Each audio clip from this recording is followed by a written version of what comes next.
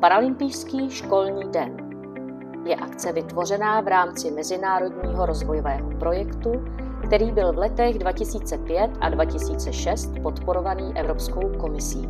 Mezi základní principy tohoto programu patří propagovat parasport, vytvářet povědomí o sportu osob se speciálními potřebami a o jejich životním stylu, respektovat a akceptovat individuální odlišnosti mezi lidmi v rámci pohybových aktivit. Obsah konkrétního programu Paralympijského školního dne přizpůsobujeme počtu a věku žáků, materiálním a především prostorovým podmínkám a specifickým přáním škol.